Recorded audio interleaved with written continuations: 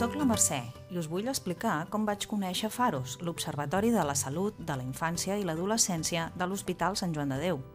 La setmana passada, el meu fill de 5 anys, en Marc, va començar a trobar-se malament. Mama, em deia, em marejo i em tinc mal de cap. Al principi no li vaig donar importància i vaig pensar, ara que comença l'escola, segur que és una excusa per quedar-se jugant a casa.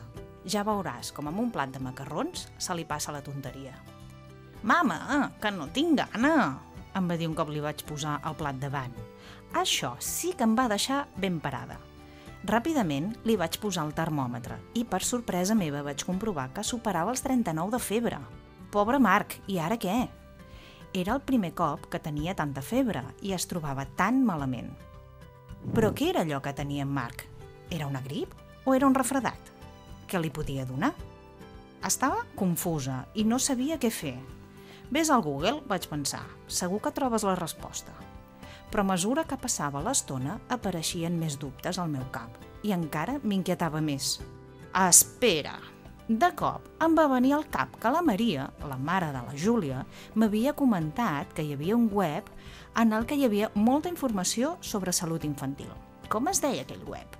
Foros, fars... Mm, sí, recordava que era una iniciativa de l'Hospital Sant Joan de Déu. Fàcil, doncs. Un cop vaig entrar a la pàgina de l'hospital, per fi ho vaig trobar. Faros. Ara sí. Només entrar vaig teclejar grip i refredat. I en un clic vaig trobar diversos articles relacionats. En una llegida ràpida vaig trobar l'article que buscava. Al meu fill li fa mal la gola i té febre, però és una grip o és un refredat? Que ni pintat. Pobre Marc. Segons el que havia consultat, no hi havia dubte tenia la grip. Faros, però, recomanava tenir en compte que cada nen és diferent i que consultés amb el pediatre. Però què vols que et digui? Em vaig quedar molt més tranquil·la. I a més, Faros és un web de l'hospital, no? Això sí que em donava confiança. Mentre esperava que arribés en Manel, el meu marit, per anar a portar el nen al pediatre, vaig seguir navegant per Faros. Ostres, si n'hi havia de coses! Però si també recomanen contes, llibres i pel·lícules i jocs i videojocs. Quan en Marc ho sàpiga, ja veuràs que content es posarà. I allò del racó del petit gourmet, què era? Sonava d'allò més bé. Era un espai de receptes de cuina dirigides als més petits. Perfecte, ja sé què farem avui per sopar.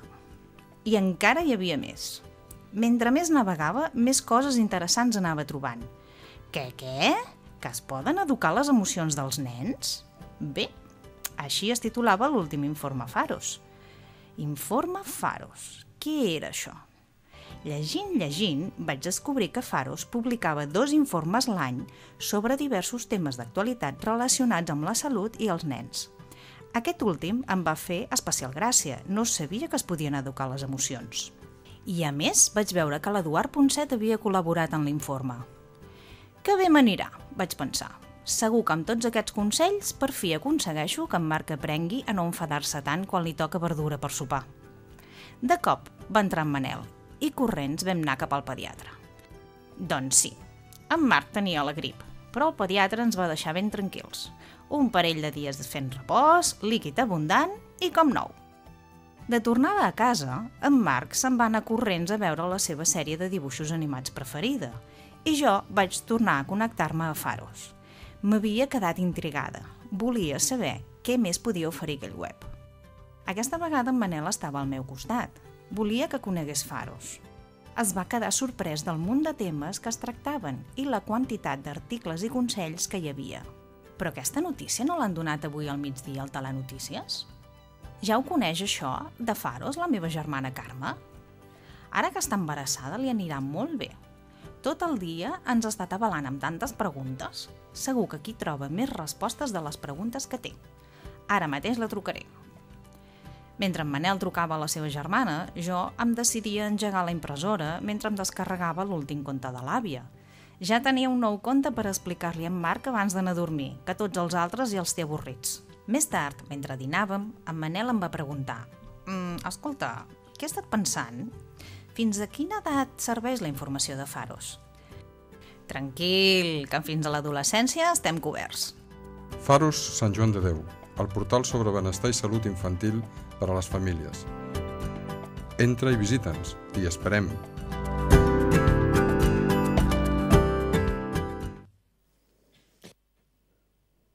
Molt bé.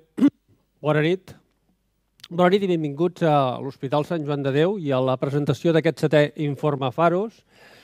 Eh, la veritat és que no és una tarda molt agradable per vindre, per tant els hi agraïm doblement aquesta situació.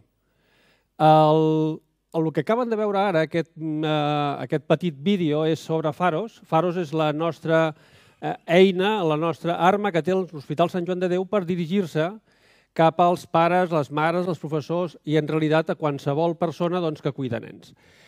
Uh, quina és, uh, el, que veiet, el que hem vist aquí és el que en aquests moments tenim a la web de Faros i ara els ensenyaré tres o quatre coses noves que hi posarem ara a partir de l'1 de juny.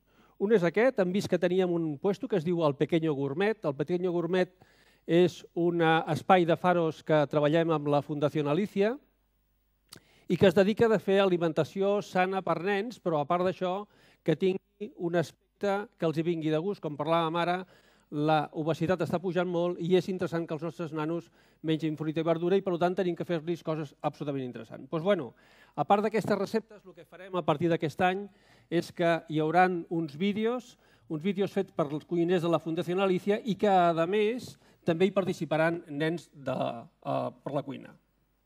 Què tenim també més a Faros? Què tindrem? Tenim un espai dedicat a les apps. Les apps són aquests eh, productes amb aquests moments informàtics que apareixen amb els mòbils intel·ligents, que cada vegada n'hi ha més i que el que ens dediquem a Faros és a analitzar i a aprovar les apps dedicades a nens, adolescents i pares i veure i donar-los una puntuació en funció de la consideració que ens, eh, ens plantegen i la seva qualitat. També com a espai nou hi haurà uns minivídeos de dos, tres minuts que faran professionals de l'hospital o d'alguns altres hospitals, però de gent amb molt de prestigi, que ens informaran de petits eh, eh, situacions, com poden ser què passa quan un nen té diarrea, què fem quan tenim febre, etc etc etc. I poder la part més important que apareixerà amb aquesta nova web de Faros, aquesta d'allà és la, la maqueta de la nova web, és que fins ara nosaltres fèiem articles científics i també, per una altra part, col·locàvem aquesta part lúdica de contes, de jocs, etc. I ara hi haurà una relació entre la patologia que la persona està mirant, per exemple, estem parlant d'obesitat, i ens apareixeran relacionats amb aquesta patologia d'obesitat quin és el menú més adequat per aquest tipus de nen i aquesta edat, dos, eh, quins són els jocs més adequats per fer-lo per aquest tipus de problema, quina és la pel·lícula que podem anar a veure que ens pot interessar o al nostre fill o a nosaltres, etc etc etc. I això és el comentari que volíem fer avui curt sobre la web de Faros. Ara bé, lo interessant d'avui, lo important per lo que vostès estan aquí, no és per Faros segurament, sinó és per veure què és el que diu aquest títol, per què importa en aquests moments que els nens i els adolescents facin esport. Està clar que la salut depèn de diverses coses, però n'hi ha quatre que són fonamentals. Una és la genètica, sobre aquesta part i podem influir-hi poc, però s'està treballant d'una manera científica sobre això. La segona és l'ambient. L'ambient cada vegada té més força. Pensem un moment, quan estem parlant d'ambient estem parlant de, eh, de tràfic, estem parlant de contaminació, estem parlant d'alcohol, tot això. De... I pensem que la mortalitat entre 1 i 15 anys, la part més important se la porten els accidents de tràfic. És aquí, a més, segurament, on en aquests moments tenim que treballar-hi millor. Perquè, a més, hi ha països on aquest espai el tenen bastant solucionats i, per exemple, Suècia ens porta encara moltíssim avantatge en aquesta situació. L'altre apartat, òbviament, és el sistema de salut. Aquesta és una part molt important, que nosaltres, a Catalunya i a Espanya, és un bon sistema de salut i que esperem que ara amb la situació de la crisi tot això no empitjori. Però avui volíem parlar d'aquest altre apartat, de l'apartat dels hàbits saludables. I pensem que els hàbits saludables és una part molt important. Si mirem això, el 40% de la nostra salut depèn dels hàbits saludables. De lo que mengem, de l'exercici que fem, de com tenim les emocions, etc etc. I avui parlem d'exercici.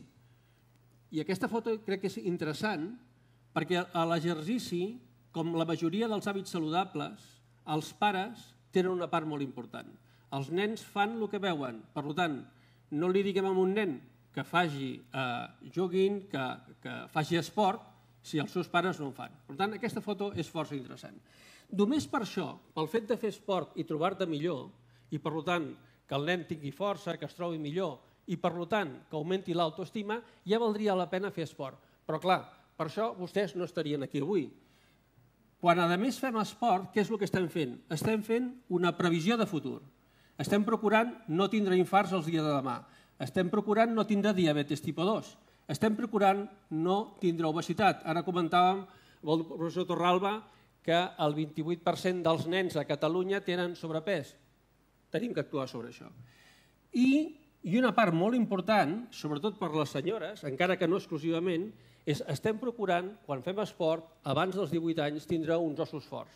Aquesta problemàtica d'aquí baix, que és l'osteoporosis, l'osteoporosis és una enfermetat que apareix amb les persones de més de 50 anys, normalment senyores però no exclusivament, i que quan apareix l'únic que podem posar és un parche. Li donem unes pastilles, eh, etc. li direm que faci exercici, que faci yoga, ho estem fent malament. Els ossos es formen abans dels 18 o 20 anys, per tant, i es formen d'alguna manera. La massa òssea creix de tres eh, situacions principals. Una, ingesta de calç, d'aliments que tenen calç. Dos, prendre vitamina D, sol, etc etc. I tres, i la part més important, és fer exercici. Quan nosaltres, quan som nens o som adolescents i fem exercici, estem creant massa òssia. Si estem creant massa òssia, què vol dir? Que en vez de tindre un problema d'osteoporosis als 50 anys, els tindrem als 60, als 70 o als 80. Per tant, estem fent prevenció. Una altra part molt important, i avui tenim a la xerrada, disfrutarem del professor Torralba, és a l'esport i els valors. A l'esport produeix valor, ens ho explicaran. A l'esport es poden practicar valors, s'adquireixen tipus de valors, és molt important, ho veurem.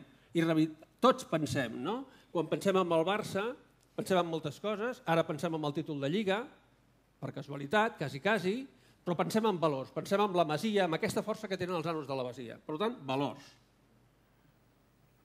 Però la part més important, la part més novedosa, la que no coneixem, la que ens té que fer canviar a nosaltres a l'hàbit de vida dels nanos a les escoles i a casa, és aquesta.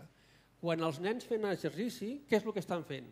Estan provocant una sèrie de canvis que després la doctora Àngels García Cazorla ens explicarà i això ens està provocant que els nens aprenguin millor, que tenen més memòria, etc etc. Inclús hi ha diversos articles americans i de la gent australiana que diu que exactament com, fem, com dèiem a Malós, quan estem fent exercici i augmentem el nivell de neurotransmissors i de sinapsis i de neurones, estem augmentant, protegint el cervell i això segurament ens protegirà d'alguna manera per després no tindre enfermetats neurodegeneratives tipus Alzheimer.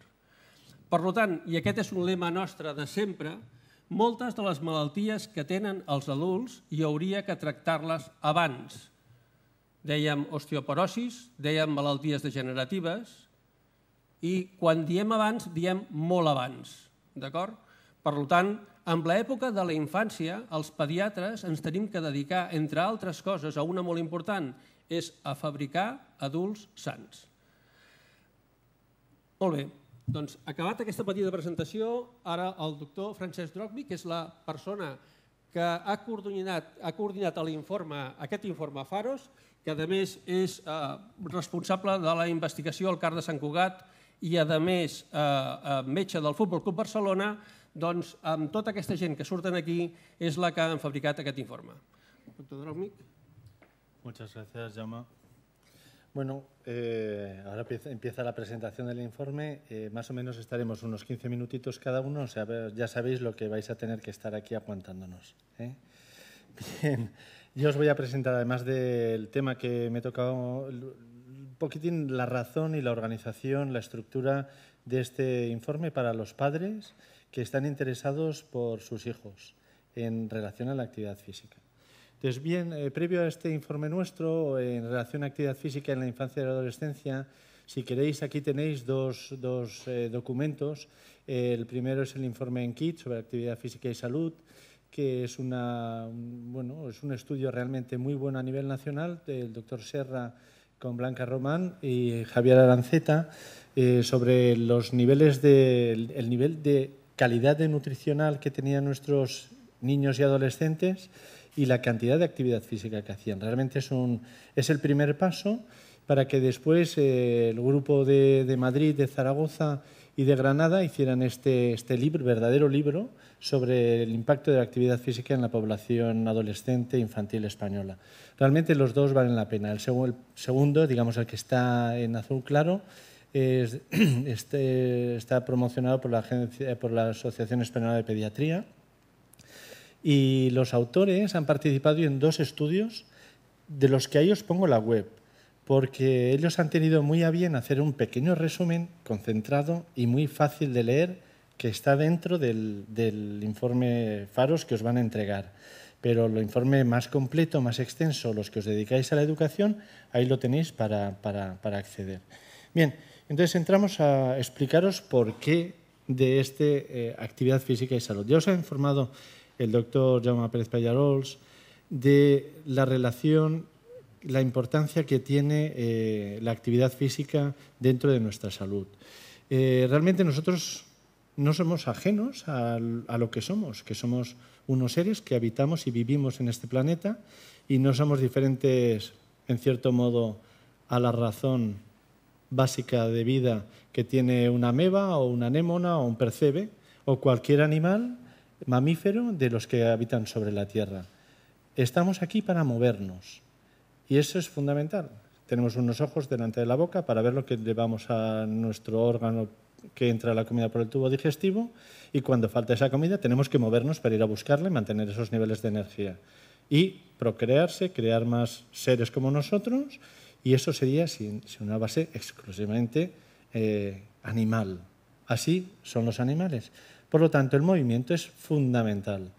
Tan fundamental que a medida que las especies son más grandes y más evolucionadas, se comporta en hábitos sociales con aprendizajes, aprendizajes que llegan a ser racionales a nivel mental, a nivel cerebral, modifican estructuras y hace que seamos diferentes a otros animales y que lleguemos incluso a pensar.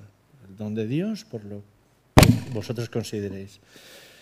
Y eso nos hace diferentes a todos los animales. Pero Teniendo eso, no podemos ser ajenos a que el movimiento es parte de nuestra evolución.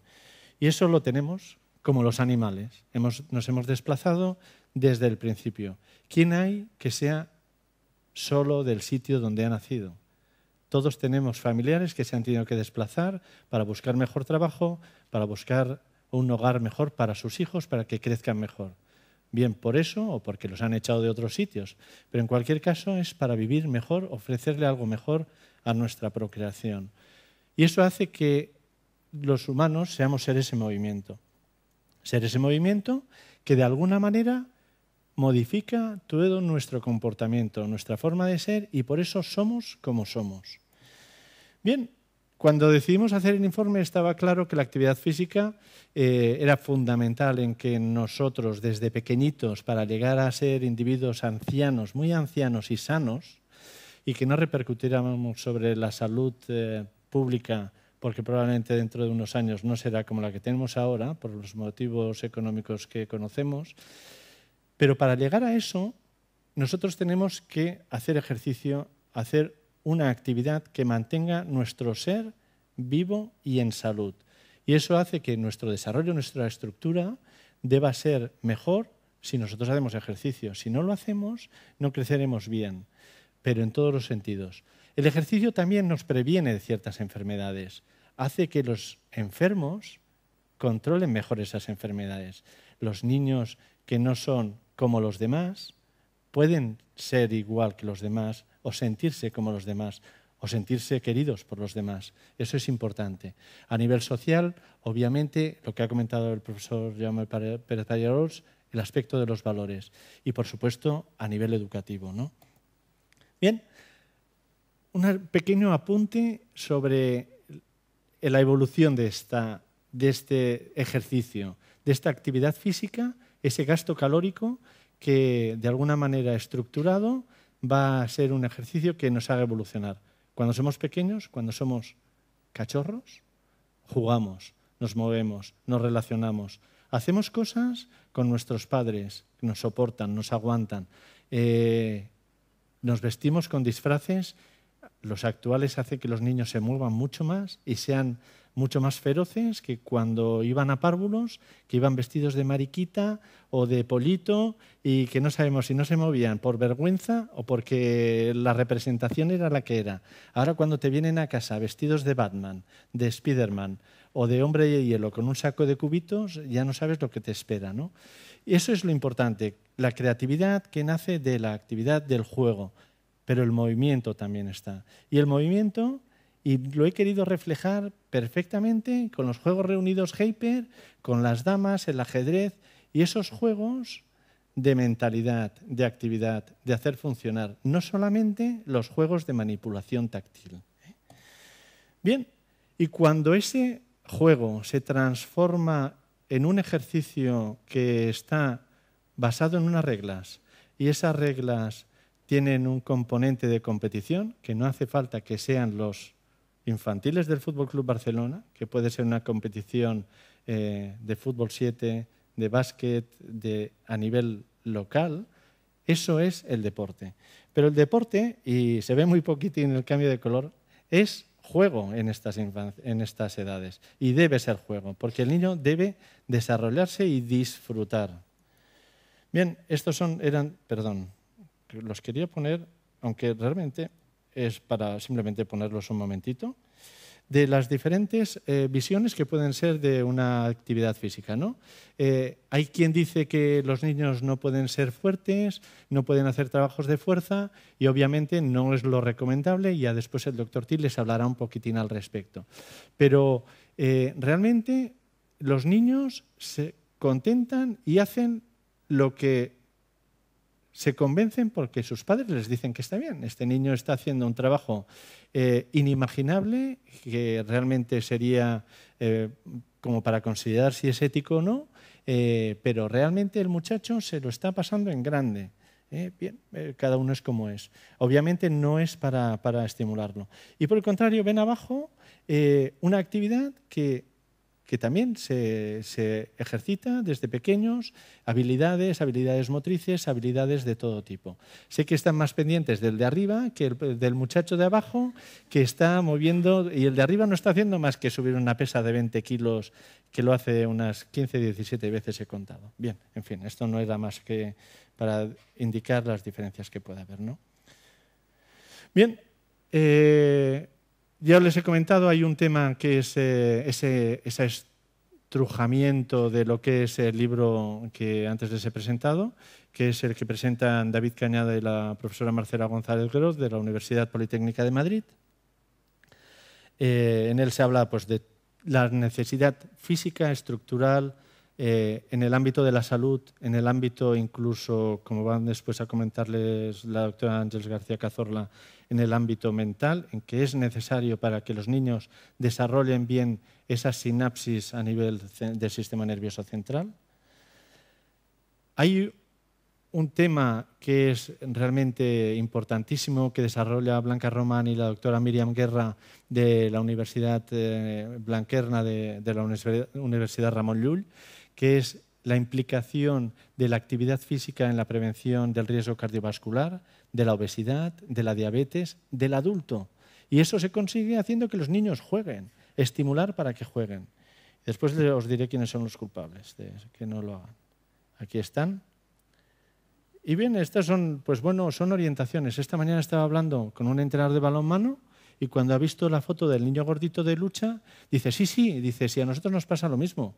Dice, tenemos niños que son gorditos, que se apuntan a la escuela de balonmano, este chico es de Granollers, y dice, cuando los ves que van creciendo, dice, se ponen como armarios, dice, y se ponen allí en medio y que no hay quien, quien se les acerque, jugando a balonmano. Porque claro, lo importante es la diferencia entre los niños de arriba y de abajo.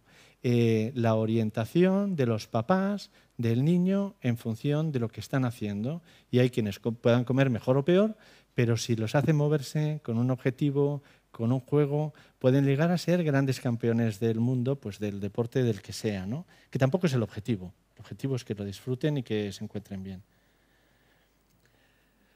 Ya os he hablado eh, la importancia de la actividad física, del ejercicio, incluso del deporte en trastornos de conducta, en niños que tienen discapacidades intelectuales o en niños que tienen una patología crónica que incluso puede ser limitante. Seguro que habéis oído hablar del asma inducido por esfuerzo. Todos los asmáticos, cuando hacen ejercicio, pueden tener asma, por lo tanto que no hagan ejercicio si no tienen asma. Bien, pues es todo lo contrario gozamos de deportistas de altísimo nivel que son asmáticos gracias a que su pediatra dijo, no, no, nene, a ti no te hace el papel para irte de la clase de educación física nadie, tú vas a trabajar.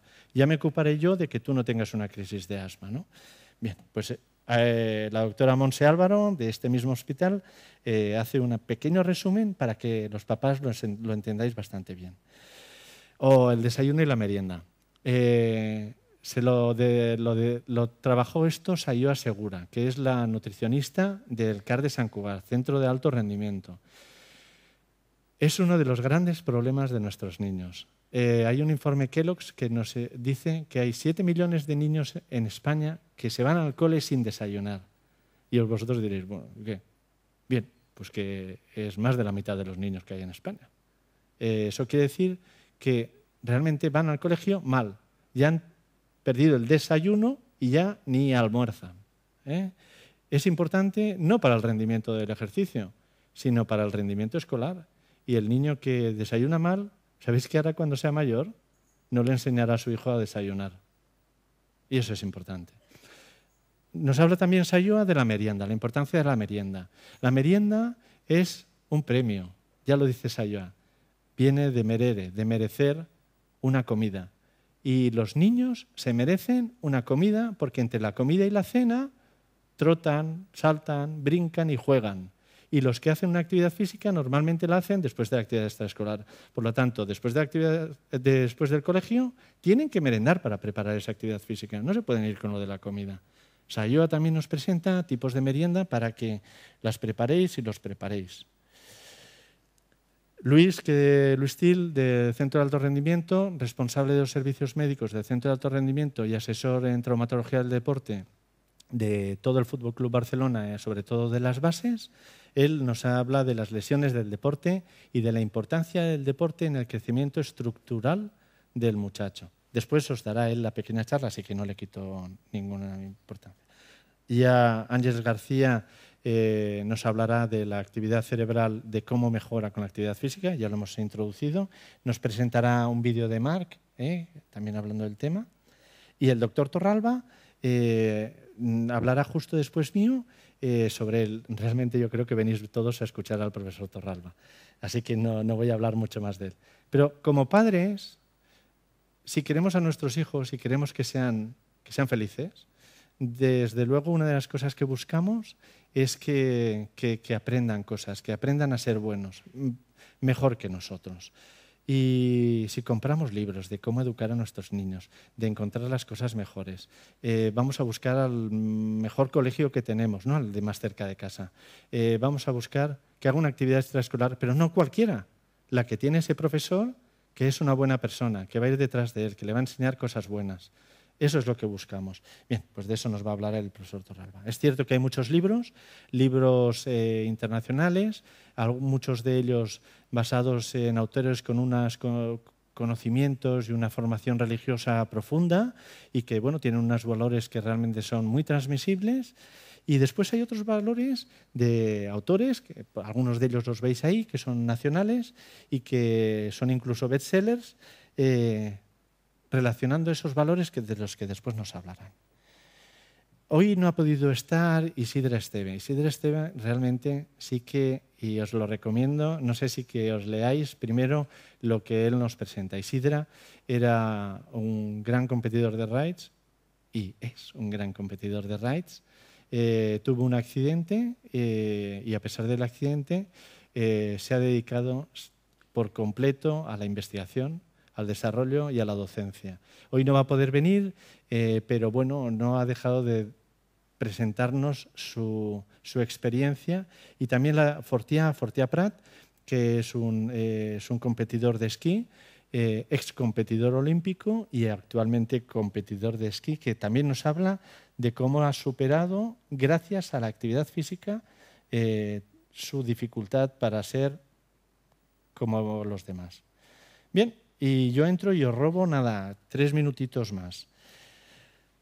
Porque la culpa de que los niños no hagan deporte no es de que el gobierno diga que el mínimo es que se haga una hora a la semana y que la mayor parte de las autonomías digan, bueno, pues vamos a los colegios digan, bueno, vamos a hacer dos y no se hagan cinco, que es lo necesario eh, para cada niño. Eh, no es eso. Eh, la culpa es nuestra, de los padres.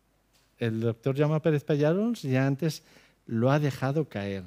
Somos los padres el ejemplo. Aquí tenéis a Arnold Schwarzenegger, que muchos de vosotros ya lo conocéis, ¿Y qué hacen estos chicos tan delgaditos? Quieren ser como su, rol. Todos los niños quieren ser Messi.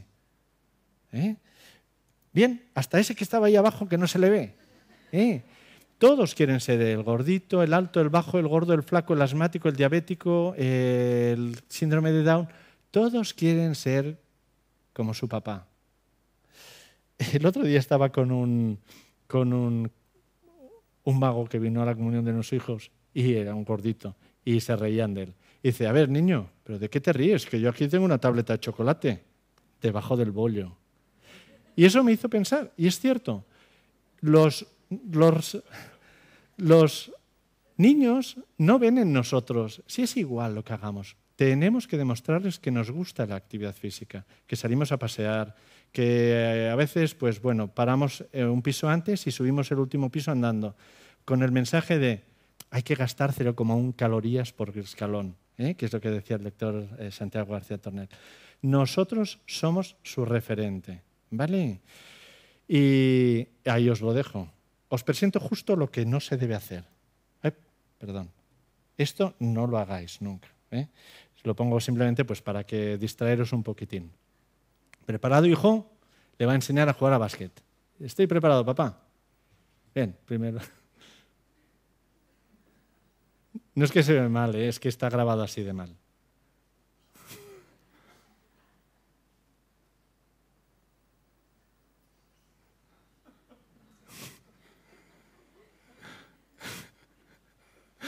Este es el final apoteósico. Bien. Bueno, esto era simplemente para, para cambiar un poquitín. Y os presento, eh, estuve el otro día en una charla y pensé, este sí que es el mensaje de un padre, ¿no? Y... Can I help you today, Dad?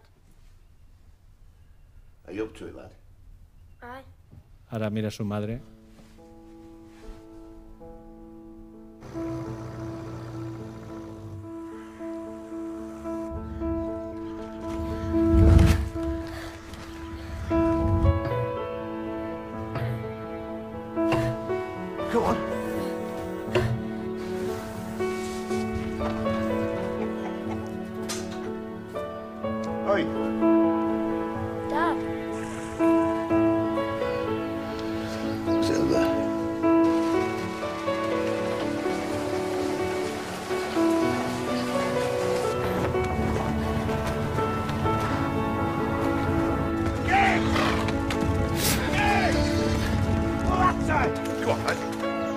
Well,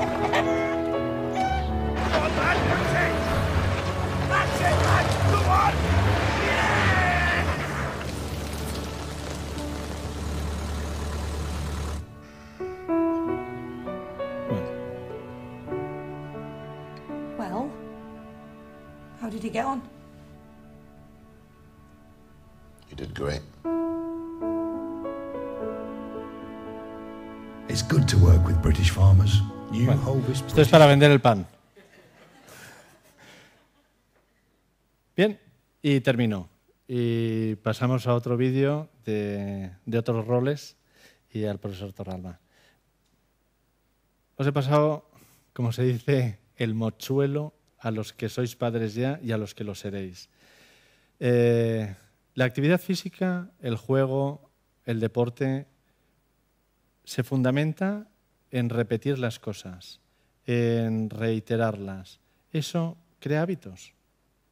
Y esos hábitos Al final terminan en virtudes, ya de eso se hablarán. Pero todo eso se hace educando. Y nosotros somos quienes educamos. No es el profesor de la escuela en las dos horas de clase. ¿De acuerdo? Entonces, ¿qué es lo que mejor educa? El ejemplo. Y sin ejemplo no se aprende nada. ¿De acuerdo? Y ahí vamos.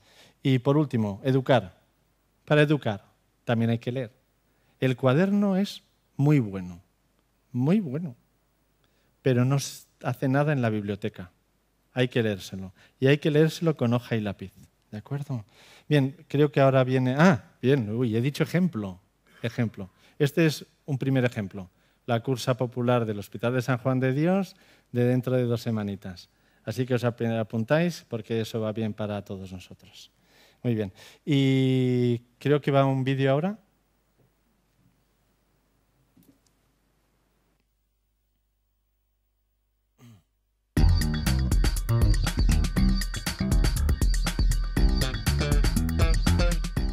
Es importante que los niños practiquen deporte, sobre todo para mantener una condición física buena, también para la salud es importante y, y bueno, sobre todo porque el deporte pues lleva detrás una cultura, ¿no? una disciplina, unas normas y yo creo que eso también les hace mejorar como personas y por eso yo creo que es importante que lo practiquen.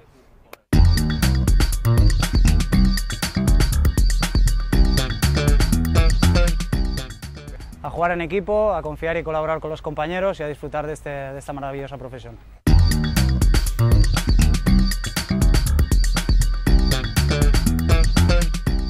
Jo crec que hem de transmetre sempre uns valors molt importants i crec que ells doncs, eh, creixen eh, sabent el que és equip, en compartir, en disfrutar i després doncs, eh, jo crec que a treballar eh, d'una forma per donar-ho tot i poder-se guanyar la vida doncs, d'una manera o altra.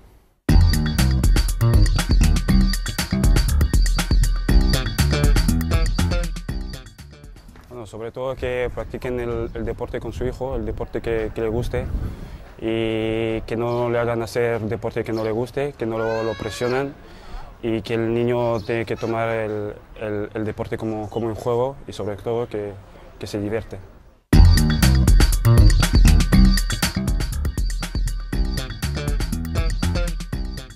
Gracias al deporte he aprendido muchas cosas. Eh, la verdad es que he tenido la suerte de, de compartir muchas vivencias con, con compañeros, eh, respetar mucho a, los rivales, a los adversarios, a la gente que tenemos delante. Es una, una herramienta básica para, para, inculcar muchos valores, desde el respeto, la humildad, eh, la educación, también indudablemente para, para, sentirme sano, sentirme en forma, sentirme a gusto con lo que hago.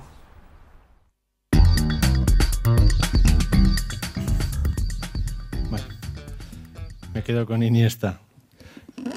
Eh, profesor Torralba, creo que la introducción de estos muchachos eh, permiten que nos hable usted de los valores que podemos encontrar en el deporte.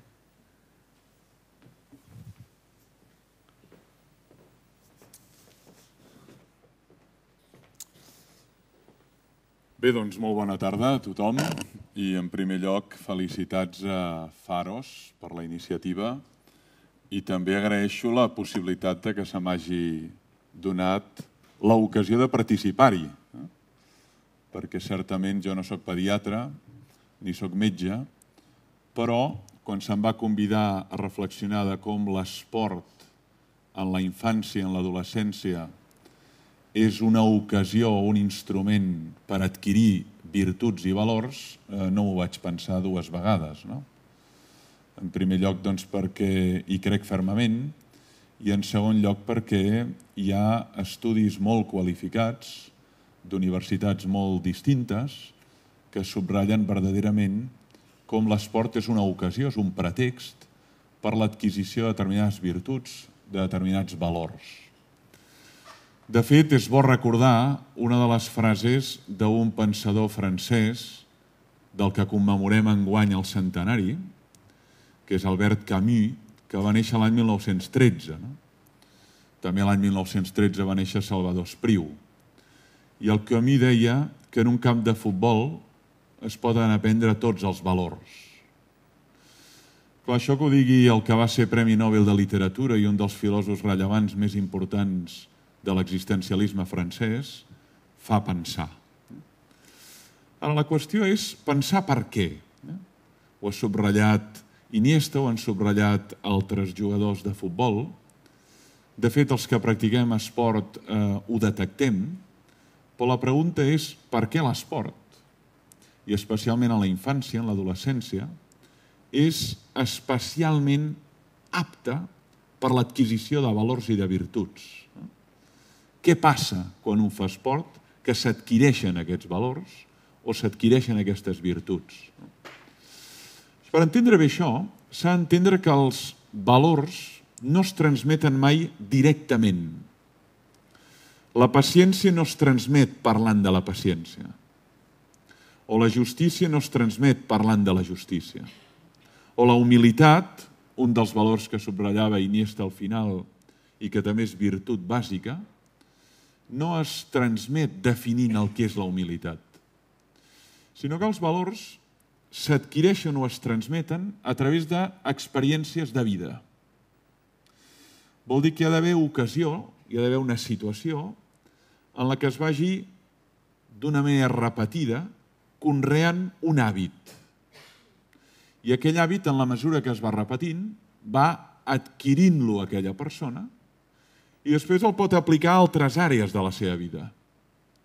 Una persona que ha adquirit el valor de la humilitat, fent esport, veient com perd, veient com s'entrena molt i no aconsegueix assolir la seva fita, veient que sense els altres no podria haver guanyat aquell equip, una persona que ha adquirit el valor de la humilitat a través de la pràctica esportiva, aquest valor és un tresor intangible que després li serà molt útil a la seva vida familiar, a la seva vida social, i ja no diguem a la seva vida laboral. No? En l'esport aprenem a perdre, eh? però aprenem també a guanyar. I en la vida es perd molts cops, jo crec que sobretot perdem i algunes vegades guanyem. El nen que s'ha acostumat a perdre sap gestionar emocionalment aquella pèrdua. I per tant té eines, té capacitats, després per assumir i gestionar altres pèrdues de la seva vida. I el nen que aprèn a guanyar, i aprèn a guanyar amb generositat i humilitat, i no exhibir a l'altre la seva victòria, o fer-se el fatxenda amb la seva victòria, el que aprèn a guanyar bé, això li serà molt útil també a la vida, especialment en el món laboral, on ningú suporta algú arrogant, vanitós o prepotent. No? I especialment en contextos on treballem en equips, i on valorem especialment la qualitat humana de les persones amb les que treballem. No? Per tant, els valors es transmeten indirectament. Hi ha d'haver una situació de vida. I en aquesta situació de vida passen coses. Es guanya, es perd, s'ha de mantenir l'atenció per poder jugar en equip, s'ha d'entrenar repetidament per filar prim una jugada, s'ha d'anar a dormir d'hora per l'endemà estar a punt, s'han de menjar suficients calories i proteïnes per poder després tenir motor per desgastar-lo al camp. Per tant, aquell esport porta associat, per poder-se desenvolupar correctament, una sèrie d'hàbits alimentaris, una sèrie d'hàbits de descans, una sèrie d'hàbits fins i tot de protecció del fred o de protecció de la calor o de protecció del sol, que fan que aquella persona vagi d'una manera i reflexiva, adquirint uns determinats estils de vida saludable. I això també l'allunya de mals hàbits. Si aquest nen l'endemà de jugar, doncs no pot anar a dormir tard. Si aquest jove forma part d'un equip ciclista i l'endemà queden a les 8 del matí a la plaça Rius i Taulet, sé de què parlo, no pot anar a dormir tard, perquè l'endemà no podrà seguir el pilot, es despenjarà, i per tant, la mateixa pràctica de l'esport porta associada tota una sèrie d'exigències i de deures que no es viuen com a deures en el sentit negatiu de la paraula, sinó que es viuen com a bases per poder desenvolupar bé aquella activitat física. No? La pregunta és, quins valors aprenem a través de la pràctica esportiva? Sobre això hi ha moltes tesis doctorals. Inclús hi ha un terme tècnic que és axiologia esportiva. El terme axiologia fa referència al tractat dels valors. I esportiu, tots sabem el que és. Per tant, quan parlem d'axiologia esportiva, parlem de quins valors especialment adquirim a través de la pràctica de l'esport. Jo en subratllaré quatre. Alguns s'han dit aquí, però val la pena argumentar per què aquests valors els adquirim a través de la pràctica esportiva. N'hi ha un, bàsic, fonamental, que a més a més és un dels valors que desitgem més els pares per als nostres fills, els mestres pels seus alumnes i els que governen el país pels nens i les nenes que hi ha en aquest país, no? que és el valor de l'esforç, que és un mot que té moltes paraules que estan en la mateixa constel·lació. Tenacitat, constància, perseverança, fins i tot sacrifici. Són mots que estan en la mateixa constel·lació. No? Home, no hi ha dubte que l'esport fa desenvolupar aquest valor. I, de fet, hi ha nens i nenes que comencen a desenvolupar aquest valor en la mesura que tenaçment, d'una manera esforçada, entrenen cada dimecres, van a jugar el dissabte, van adquirint el múscul de l'esforç. Això no vol dir per art de màgia que aquest esforç que aquest nen fa per jugar a futbol el diumenge, o a bàsquet, o per nedar, després per art de màgia l'apliqui per aprendre anglès o per aprendre la fórmula de l'àcid sulfúric o per aprendre la fórmula de l'aigua. Per tant, no serà tan fàcil aquesta transmissió de l'esforç esportiu a l'esforç acadèmic. Però sí que ha adquirit un hàbit i entès que només es pot vèncer si hi ha molt esforç compartit i a la vegada perllongat al llarg del temps. No? És un primer valor. Qualsevol persona que hagi desenvolupat una modalitat esportiva sap que si no hi ha molta tenacitat en el desenvolupament i en l'exercici, en l'aprenentatge, difícilment assoleix resultats. I de vegades amb molta tenacitat tampoc. Però la tenacitat és la condició sine qua non per assolir aquests resultats. Hi ha un segon valor que també ha estat anunciat, però val la pena subratllar-lo. No? que és el valor de la cohesió, és el valor de l'ajuda mútua, és el valor de la solidaritat. O emplearia aquesta paraula si no estigués tan desgastada o manuclejada. No? Però no hi ha dubte que, especialment en els esports en equip, el fet de fer esport en equip permet entendre fins a quin punt jo sóc necessari per l'equip i l'altre és necessari per l'equip. I permet donar joc, intercanviar, articular i fer créixer això que en diem les habilitats socials i relacionals de la persona.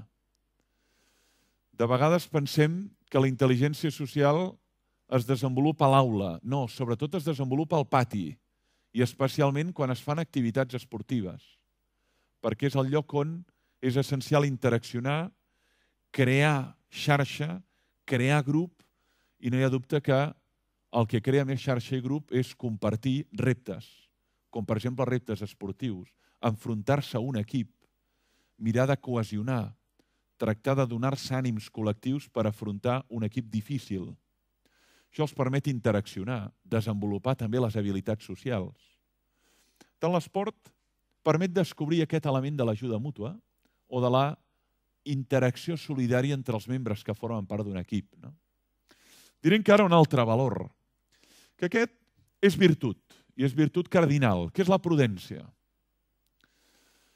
El que fa esport sap que ha de ser prudent, per exemple, en la seva mateixa manera d'entrenar.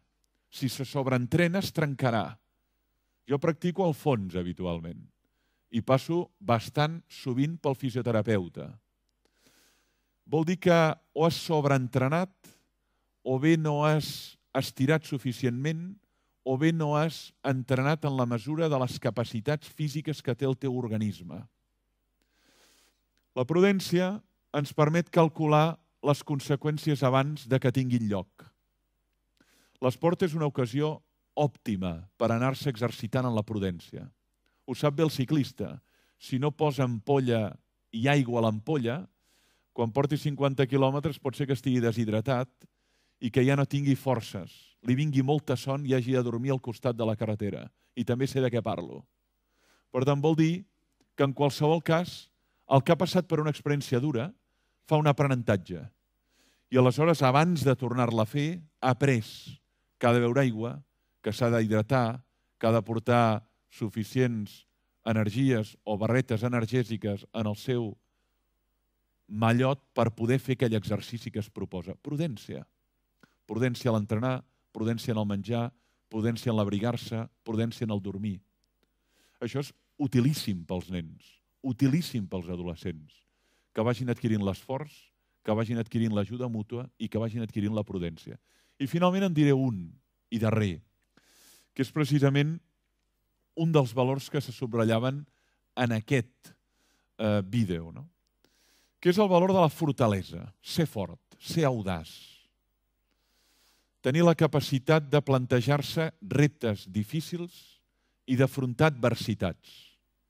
Quan una persona fa una excursió llarga, s'afronta adversitats. Pot ser que plogui, però ha de seguir caminant. Pot ser que plogui mentre està jugant un partit de futbol, però ha de seguir jugant. Per tant, t'acostuma a afrontar adversitats, a vegades climatològiques, a vegades la fatiga, a vegades fins i tot un àrbitre hostil, o a vegades fins i tot un públic hostil pel sol fet de que tu ets visitant en aquell camp. Això genera caràcter. Això enforteix el caràcter. Avui hi ha antropòlegs que diuen que els nostres joves pateixen una corrosió del caràcter. L'expressió no és meva, és una expressió molt ben trobada de Richard Sennett. No? Tenen poc caràcter, es desinflen, es desmunten abans de la contrarietat. Els hi manca caràcter per afrontar adversitats fortes. Clar, aquell que ha exercit la fortalesa, que no és un valor que té a veure amb els bíceps, sinó amb el caràcter, amb l'ànima, per dir-ho metafòricament, aquest està més ben equipat per afrontar adversitats laborals, adversitats socials, adversitats personals com pot ser una malaltia, adversitats familiars com pot ser la malaltia d'un fill o l'atur d'un pare o l'atur de la pròpia esposa. No? Per tant, l'esport també dona aquest enrobustiment del caràcter que és especialment útil, especialment en text de crisi o en text on, si no són forts i no són verdaderament audaços davant de les contrarietats que es trobaran, fàcilment tiraran la tovallola i fàcilment dimitiran. No? Jo per tot això i concloc vaig acceptar, perquè estic convençut que a part de les raons físiques, de les que no puc parlar, o de les raons psicològiques, que en puc parlar a títol personal, però no a títol científic, l'esport i l'exercitació física són pretextos òptims per adquirir valors. I això els pares, que ens preocupa molt quins valors nobles adquiriran els nostres fills, o els professors, els seus alumnes, no podem menys tenir ni subestimar aquesta eina que és l'esport i li hem de donar la rellevància i l'estatut que mereix. Massa sovint en els sistemes educatius, en les institucions educatives, se subestima els mestres d'educació física o fins i tot la pràctica esportiva com subsidiària o irrellevant. I hem de tenir en compte que ja els grecs hi donaven un valor rellevant i després també especialment els romàntics, pel que suposava de contacte amb la naturalesa i de respecte a tots els éssers de la creació. Moltes gràcies per l'atenció.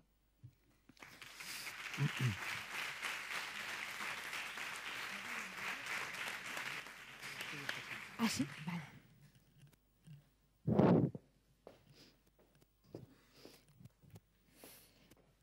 Um, hola, bona tarda, nit ja gairebé a tothom. Um, jo us parlaré una mica de què passa en el cervell, en el sistema nerviós, quan fem esport, quan fem activitat física. I abans de començar aquest tema us volia dir que jo no sóc experta en medicina de l'esport, Eh, soc neuropediatra i em dedico fonamentalment a malalties neurometabòliques, que són unes malalties rares que el que fan és canviar una mica el metabolisme cerebral, fer que la química cerebral eh, doncs, mm, passi de manera diferent. El fet d'intervenir aquí avui i de, de, de tractar aquest tema és perquè precisament l'esport i el que passa en el cervell durant l'activitat esportiva és un model eh, fantàstic per comprendre com canviant el nostre metabolisme, eh, bàsicament el metabolisme energètic, canvia la nostra comunicació neuronal, la nostra sinapsi, la comunicació sinàptica, i això és el que veurem eh, al llarg de la xerrada. Jo he estructurat una mica la meva xerrada d'aquesta manera i us parlaré primer de què es coneix sobre aquest, aquest tema a nivell científic. Posteriorment intentaré explicar una mica uh, per què l'activitat física i l'esport pot millorar el rendiment escolar i, i el rendiment cognitiu en general. I després anirem al camp ja de les recomanacions, com podem aplicar tot aquest coneixement teòric i científic en la nostra pràctica i la vida diària i dels nostres fills. Um, bé, què, què es coneix sobre aquest tema, sobre l'activitat física, l'esport i la seva repercussió a nivell cerebral, en funcions cerebrals? Això és un tema, aquest tema que està d'actualitat. En els últims anys han aparegut molts treballs a la literatura mèdica, a la literatura científica. Si considerem aquest període de temps, fixeu-vos, del 2010-2012, molt recent, dos anys, eh, per preparar una mica un projecte que estem elaborant de, de recerca sobre això, vam revisar uns 42 articles que vam considerar els més importants, els més rellevants, dels quals 23 eren més de recerca bàsica en models animals i després ja en, en persones, en, en humans, hi havia un número important eh, de, en adults, però també a nivell, a nivell dels nanos, com veieu, en, en l'edat pediàtrica no està malament, 13 estudis en un període de dos anys. Com dic, és un camp una mica en expansió i que està doncs, de moda, però d'una manera eh, amb molta raó. Alguns exemples d'aquests estudis, ara us, us, us els explico. Eh, veieu aquí en, en nens de, de 8 a 12 anys van, van agafar un número que, que és realment important, de 500 a, a 1.200 aproximadament, Um, aquests nanos uh, van millorar, només amb una setmana d'un programa diari d'exercici, van millorar en una sèrie de tests uh, que indicaven d'atenció, de, de memòria. Uh, francament, era molt millor uh, uh, just després de l'exercici que el que era abans. I això ja és significatiu només en una setmana. Sobretot milloraven perquè van fer dos grups. Uh, alguns feien el, uh, els tests just després de, de, de la setmana d'exercici i uns altres estaven estaven una setmana sense haver fet l'exercici. Va ser dues setmanes. Uns feien una setmana, els altres feien l'altra. Eh, milloraven només el grup que havia fet eh, l'exercici just la darrera setmana. O sigui que hi havia com un efecte molt recent de l'exercici en aquesta millora.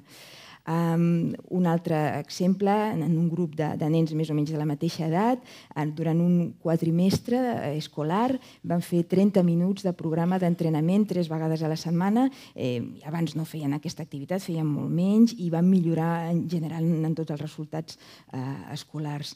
Un altre exemple també d'un estudi important, perquè hi ha un volum, hi ha nens de 5 anys, aquesta vegada més petitons, uh, que fan un anàlisi previ abans de l'exercici i després 9 mesos, que està molt bé, un entrenament de 20 minuts al dia que feien, els feien córrer, els feien saltar obstacles i van veure que eren millors en memòria espaial, de treball, en atenció i un altre també interessant, aquest estudi en, en 55 nens que es consideren com eh, nens que fan una pràctica esportiva més o menys important, que fan un esport ja, eh, diguem-ne, com, com a activitat i fan competició escolar, no a nivell d'alta competició, i aquests van veure que en general, comparats amb, amb altres nanos que no ho feien, eren molt millor en funcions atencionals, també executives.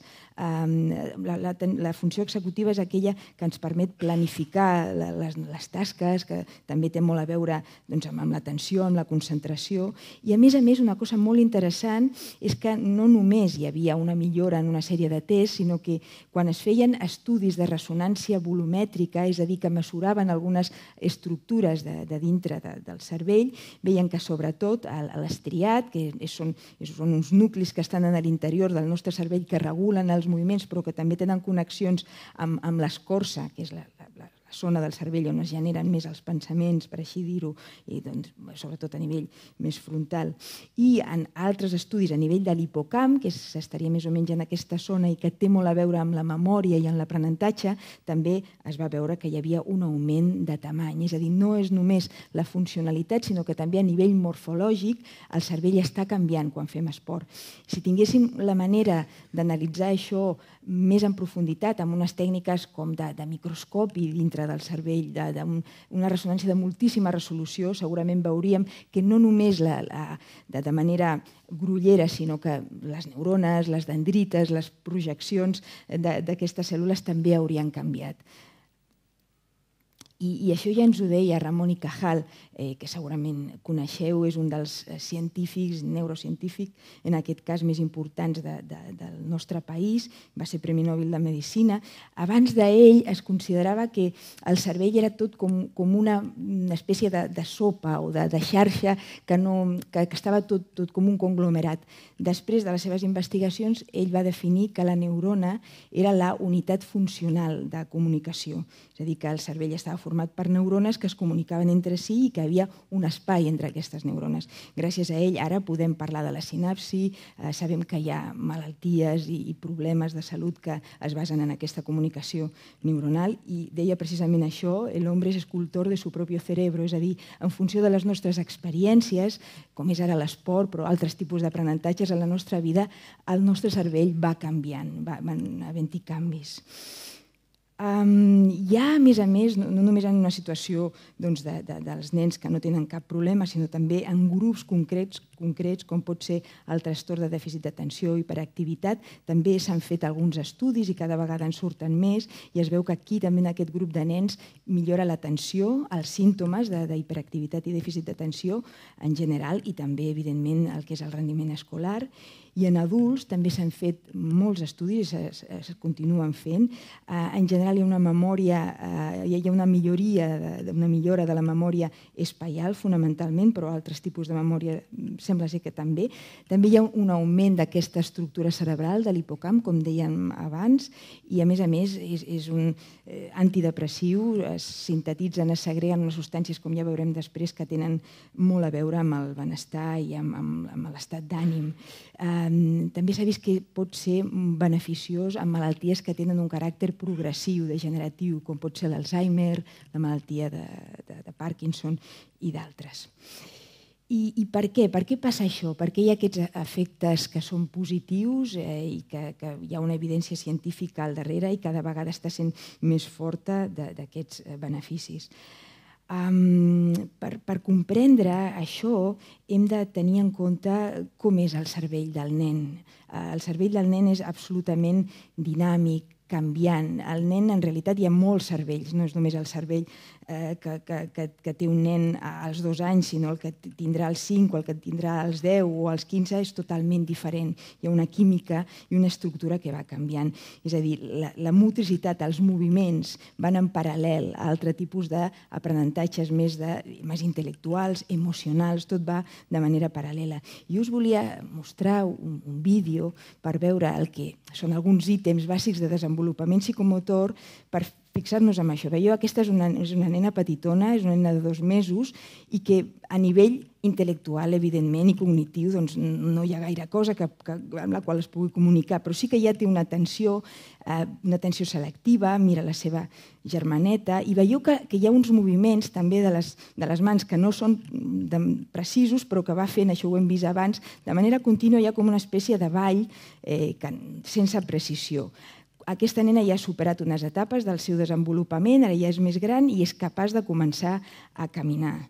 Eh, quan comença a caminar, paral·lelament hi ha altres funcions del seu cervell que s'han desenvolupat. Ara l'han cridat, és capaç de reconèixer el seu nom i a més a més és capaç de ja dirigir la mà i agafar objectes. Ara està explorant també una cosa amb molta més precisió el qual vol dir que té interès, és a dir, hi ha una maduració de funcions només de motricitat perquè ja sap caminar, sinó d'atencionals. Una cosa que fan els nens és explorar tot el temps en moviment. Sobretot els nens petitons és molt estrany que estiguin molt quiets durant molta estona.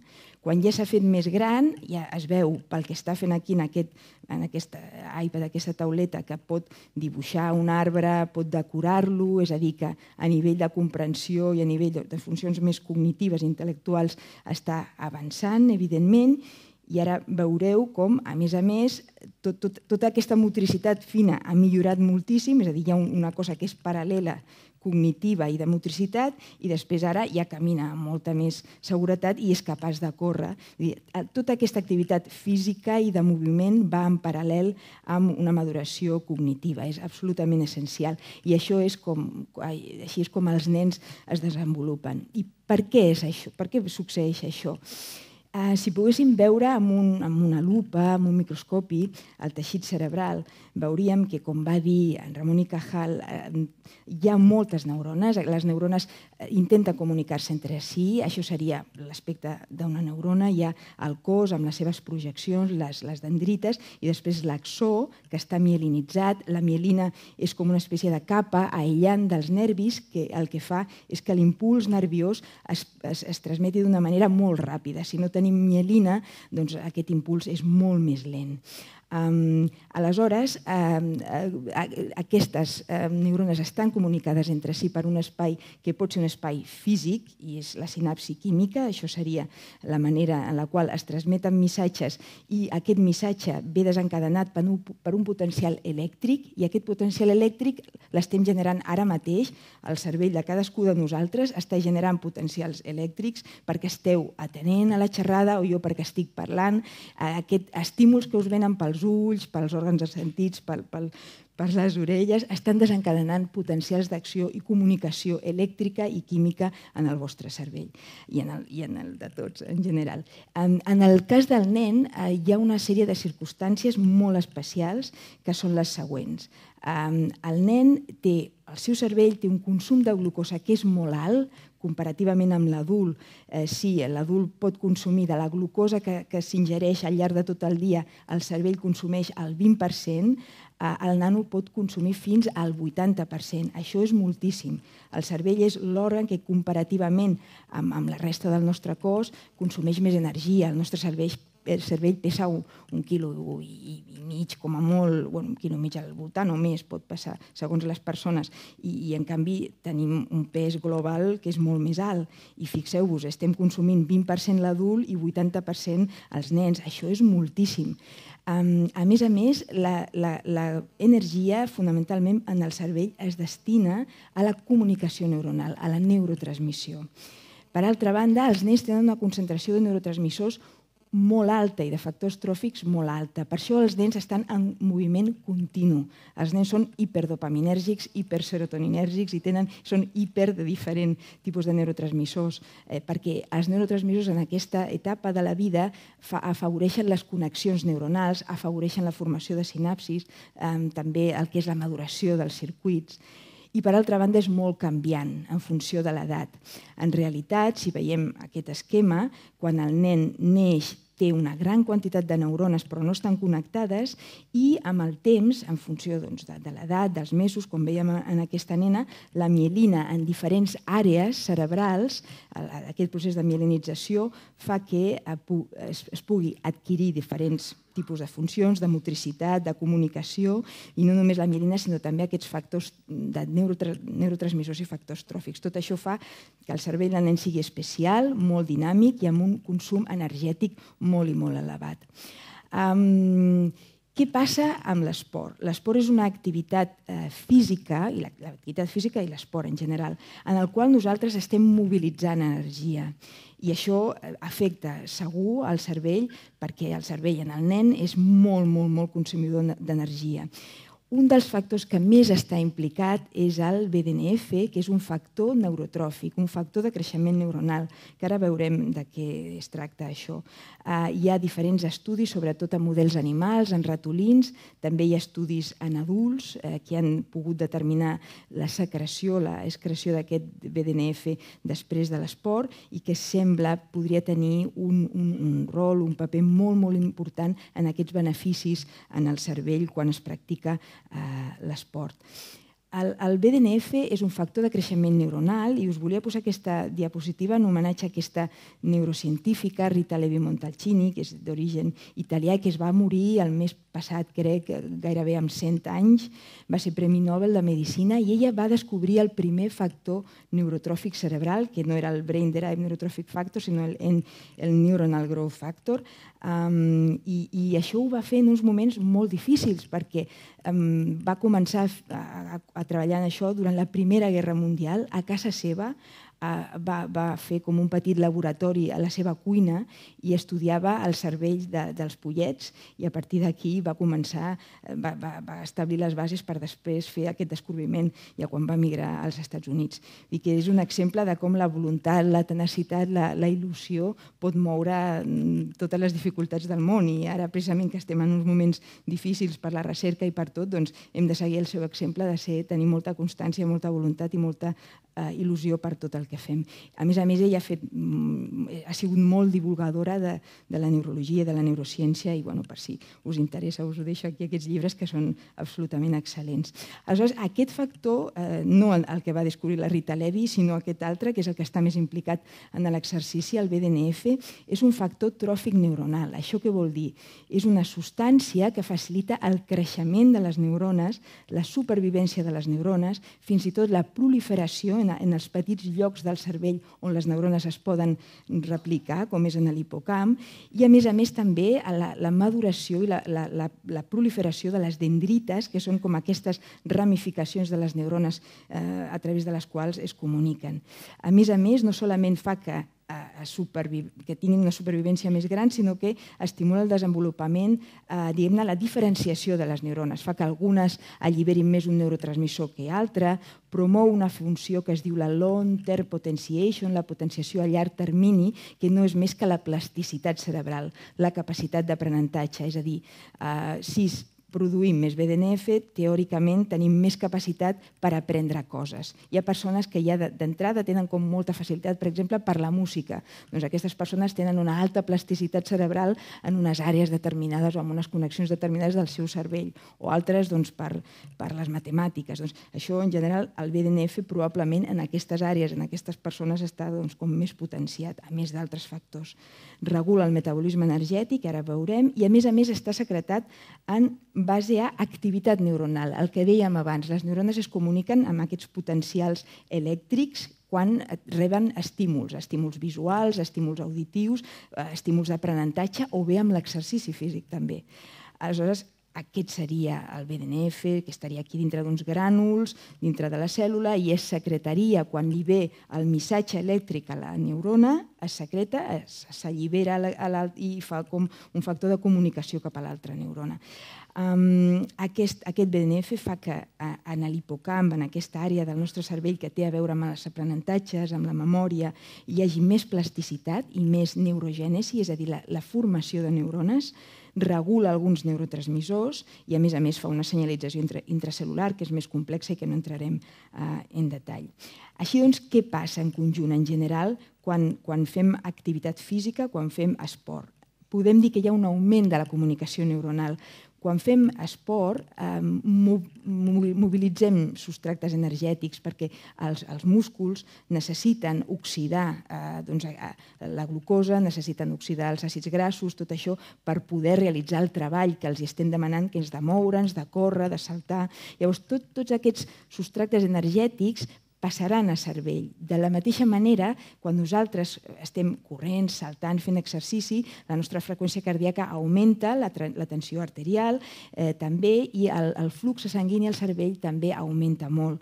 Eh, major augment sanguini significa major oxigen, significa que la barrera hematoencefàlica també actua de manera diferent, que aquestes substàncies també poden passar a cervell i augmenta la comunicació neuronal. Justament és, eh, és el reflexe seria aquest, fem esport, sigui de diferents tipus, i augmentem, alliberem més vesícules de neurotransmissors.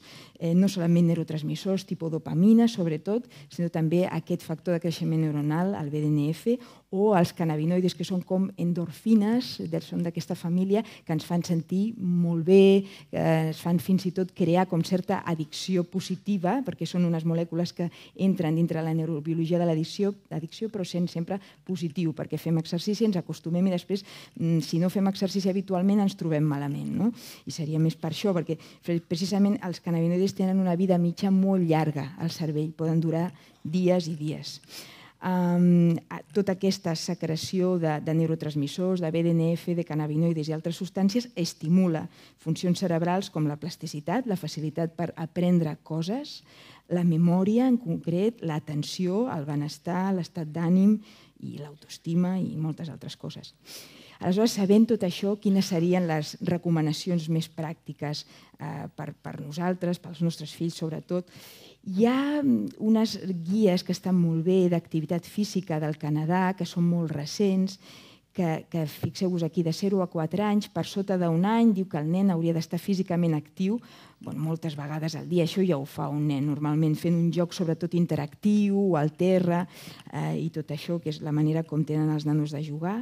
De 1 a 4 anys, una activitat almenys de 180 minuts, de qualsevol intensitat al llarg del dia, i de 5 anys o més, almenys 60 minuts al dia d'exercici energètic. Això seria recomanacions eh, més bàsiques. Després, a qualsevol edat, haurien de tenir una activitat física diària d'almenys una hora i el que seria recomanable en els nens eh, i fins a l'adolescència i després en els adults també, és poder tenir algun tipus d'exercici aeròbic, almenys tres vegades a la setmana de 60 minuts de durada. El que us comentava de la secreció d'aquests factors de tròfics, de neurotransmissors, s'ha demostrat sobretot quan es fa un exercici aeròbic, és a dir, l'exercici aeròbic és aquell que ens fa suar, que, que ens puja la freqüència cardíaca, que puja la tensió, que fa un hiperafluxe cerebral, més que l'exercici que es fa per contracció isomètrica, com eh, podria ser doncs, el yoga o, o altre tipus d'activitat doncs, en el qual les nostres pulsacions no pugen tant. Però probablement aquest altre exercici dona altres tipus de beneficis, que són coses que ara s'estan una mica descrivint. Um, això, evidentment, dona una millora de forma física, del creixement, eh, en general, de, de patologies de l'adult i del rendiment escolar. I, I aquí us poso com una pregunta. I de la intel·ligència? L'esport millora la intel·ligència? Bé, la intel·ligència, la, la definició de la intel·ligència és, és canviant i, i sabem que hi ha molts tipus d'intel·ligència. La intel·ligència corporal segur que la millora. Els, els atletes, els futbolistes d'alta competició, els ballarins tenen una intel·ligència corporal corporal molt elevada respecte a la població normal. Eh, aspectes com l'atenció, la memòria, eh, la planificació, la concentració, això es veu que també ho pot millorar. Això forma part de la intel·ligència. Evidentment, fa un temps es pensava que la intel·ligència era més una cosa fixa, eh, heredada, que, que naixíem amb una intel·ligència X i que sempre tindríem la mateixa. És veritat que, que naixem amb unes condicions i amb uns talents, però el, la nostra activitat tant física com, com d'experiències, com d'entrenaments de, diferents, fa que podem evolucionar d'una manera o d'altra o millorar en diferents aspectes. Què és el que no coneixem bé? Eh, quines són les diferències a nivell cerebral entre l'exercici aeròbic i altres tipus d'exercici, com us comentava. És possible que la gimnàstica, la dansa, tot això, el yoga, eh, el que alliberi més que dopamina, GABA. Això sí que hi ha algun estudi que ho diu. I el GABA és un, és un neurotransmissor més inhibitori amb el qual la sensació de, de relaxament, d'estar com més tranquils, més, això sí que ho donaria més al GABA que no la dopamina, que és més energitzant de, de, de l'exercici exercici més aeròbic. Tampoc no sabem quines diferències hi ha entre diferents tipus d'exercici aeròbic, què és millor pel cervell, fer futbol, bàsquet, eh, handball o, o natació. Això tampoc hi ha prou eh, evidència científica. Probablement tot és bo. Quan és millor, això és molt interessant, quan és millor fer l'exercici, abans o després de les tasques escolars? Això encara no se sap prou bé, però ens comentava el, el Marc Roig, eh, que és l'expert també de, de, de recerca en esport, que ara està al Canadà i que ha treballat durant un temps a Dinamarca en aquests aspectes, que l'exercici físic podria actuar com és la, la, la son, no? Vull dir, en, com consolidant o, o millorant el que s'ha estudiat prèviament. És a dir, nosaltres quan estudiem per, per un examen, per exemple, i ens posem a dormir, si dormim bé i dormim prou, l'endemà recordem molt bé, o tenim com s'ha consolidat el que hem après, eh, hem reforçat el que hem après. Sembla que, que estem com, oh, que bé, em recordo molt bé. Doncs l'exercici físic podria ser el mateix, amb el qual el que estaria molt bé és eh, fer, estudiar per, per un examen i després anar a fer l'esport, anar a córrer o anar a fer l'activitat o fer les tasques, vull dir, fer, aprendre alguna cosa i després a nivell més de, de, de, de posar-se a estudiar i després fer l'esport perquè això sigui més. Sembla que, que va per aquí, de totes maneres no està del tot clar. Tampoc no sabem quins altres factors, a més del BDNF i dels neurotransmissors, poden actuar i quin, quins factors més personals. No? Hi, ha, hi, ha, hi ha persones que ja d'entrada són molt actives, molt, els agrada molt fer, les, fer esport. Per què aquests sí i d'altres no, i, i, i això necessàriament està lligat amb, amb, amb una millor activitat o millor rendiment escolar. Eh, bueno, això tampoc no, no acabem de saber de tot. Ja per, per acabar, us volia comentar un projecte que, que hem dissenyat aquí amb el doctor Jaume Pérez, amb la doctora Nassans, sobre esport i sinapsi o esport i comunicació neuronal, en el que ens agradaria, i ja, almenys el disseny ja, ja ho tenim preparat, és eh, estudiar marcadors de funció sinàptica, com és, o sigui, de comunicació neuronal, com és el BDNF i altres marcadors de metabolisme energètic, en, en, un, en grups de nens que van pensar que seria d'aquesta manera, de 8 a 10 anys, tres grups que els consideraríem, consideraríem els primers sedentaris, és a dir, eh, considerant per sedentari nens que només fan l'esport del col·le, l'activitat de, de, de l'assignatura de, de gimnàstica, per així dir-ho. Eh, en segon lloc, aquests nens que són prèviament sedentaris fer un programa d'entrenament durant tot un any escolar, un programa molt ben dissenyat amb professors d'educació física, amb una sèrie de característiques d'exercici aeròbic, eh, que seria més o menys diari aquest programa, o com a mínim tres o quatre cops a la setmana, i després fer el mateix amb un grup d'esportistes d'alta de, competició i veure al llarg d'un curs es, escolar, en diferents moments de, de l'esport i en diferents moments d'aquest projecte, com van evolucionar no només per diferents tests cognitius, sinó també també per aquests marcadors de, de factors neurotròfics i d'energia, de, de, de producció de l'energia i com influeix això en la comunicació neuronal. Ens sembla una cosa molt interessant, atractiva i que ens agradaria molt doncs, portar a terme. I, I ja està, ja per acabar, eh, volia posar aquesta diapositiva que els antics ja, ja ho sabien, no calia fer tants experiments ni tants estudis científics i probablement no, no s'ha dit res diferent de la naturalesa humana que el que van dir els, els filòsofs antics i, i us volia, bueno, volia agrair a, a la gent que ha col·laborat en el grup de, de treball que, que, que hem format aquí a Sant Joan de Déu per, per fer aquest estudi, per desenvolupar una mica aquesta línia de l'esport i comunicació neuronal, al doctor Jaume Pérez, a la doctora Nassans, a un company de neurologia, Carlos Ortez, la doctora Soledad Alcántara és una experta en factors neurotròfics durant el desenvolupament i el, el professor d'Educació Física, José Manuel Aja, que també va contribuir al, al disseny de tot l'estudi. I res més. Eh, això és tot. Moltes gràcies per l'atenció. gràcies.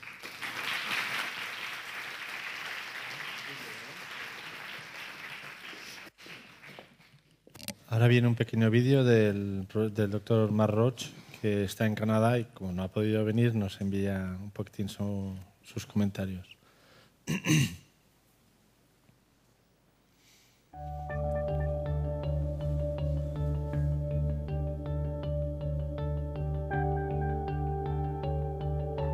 Hace muchos años que tenemos una gran evidencia científica que demuestra que la actividad física regular en niños tiene aspectos positivos a nivel físico. En aspectos de la salud física y también en la prevención de enfermedades físicas.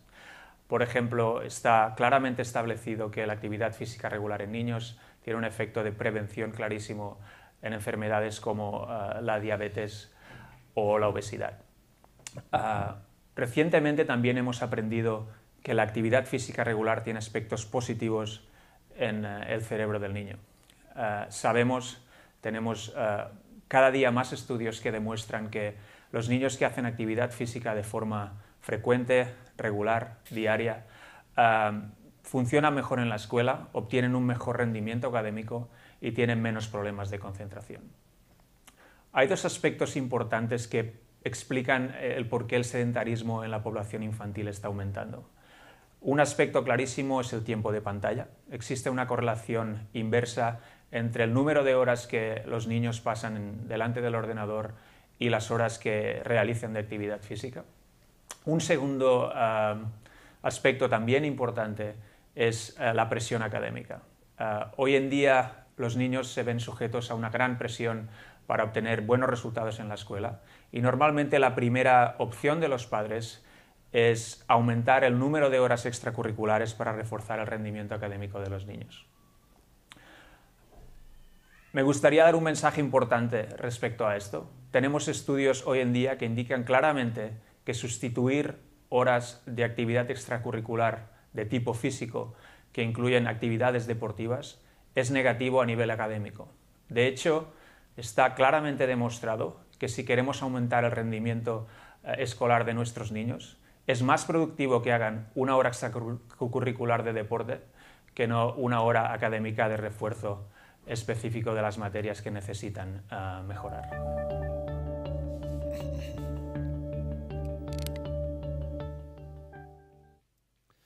Muy bien, pues eso es lo que nos decía el doctor Marroch, que es un poquitín repetir lo que estamos diciendo todos.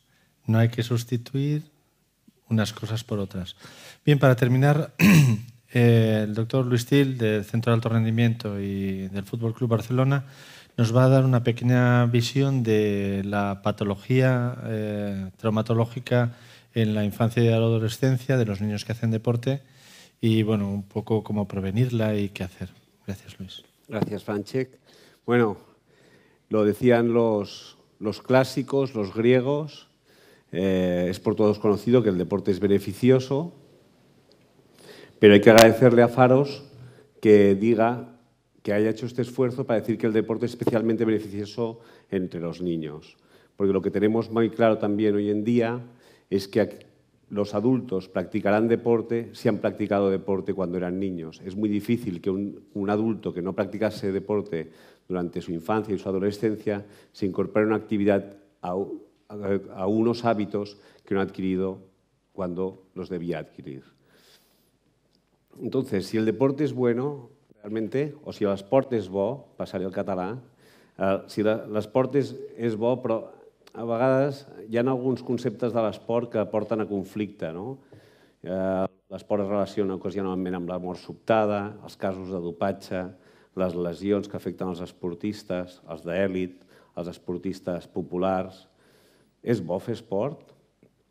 Per respondre a aquesta pregunta és cert que eh, l'esport té, ja ens han dit que té molts més beneficis i si els posem en una bàscula són molts més els beneficis que els riscos que s'assumeixen per això. Els riscos venen quan es practica l'esport d'una forma exagerada o d'una forma eh, no ben controlada.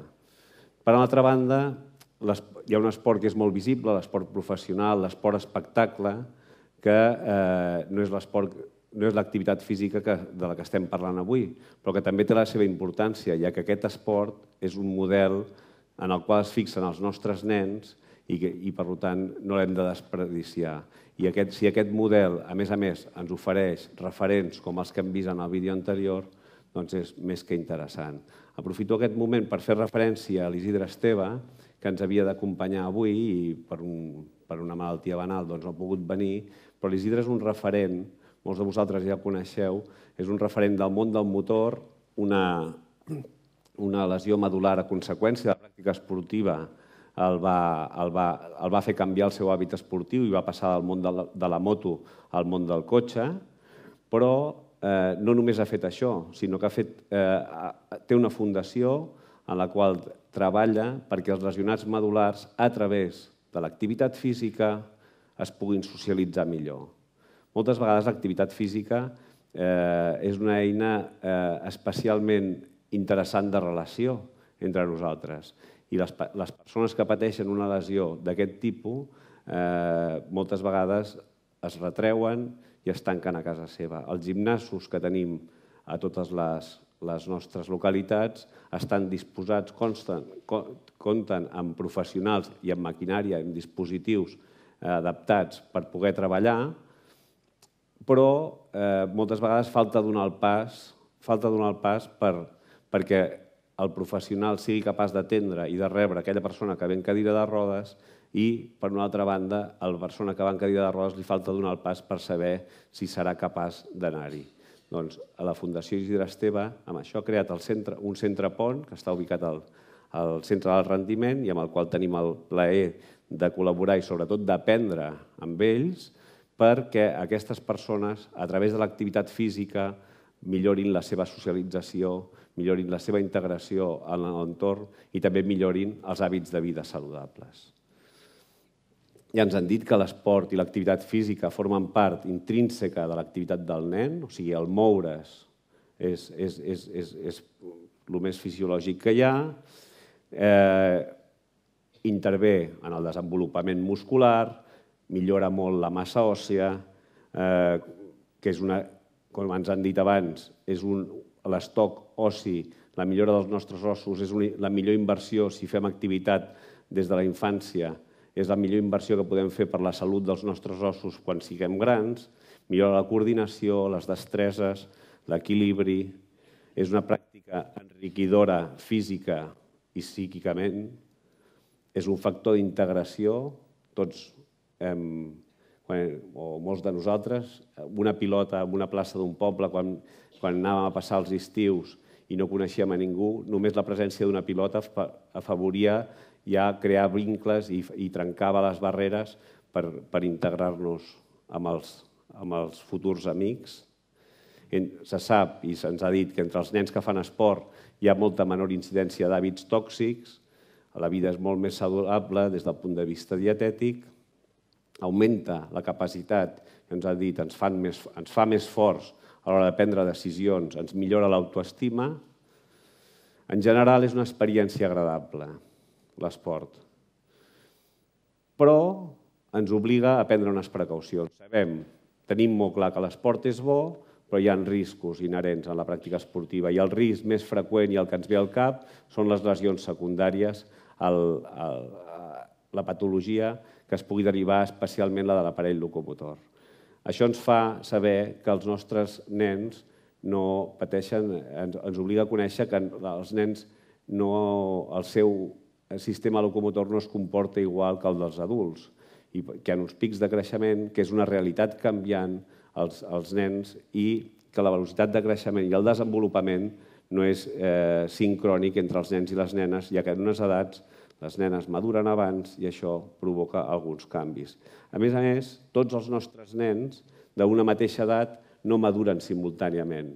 I això en algunes és, és especialment interessant tenir-ho en compte a l'hora de planificar les, la, els esdeveniments esportius i a l'hora de planificar l'esport organitzat, perquè hi ha unes edats al voltant de l'adolescència en el qual la maduració és molt variable i en un mateix grup esportiu, en un mateix eh, equip, podem tenir nens eh, que s'enfronten, uns nens eh, que encara no han madurat amb nens que han madurat i, i, i les, les capacitats són molt variables.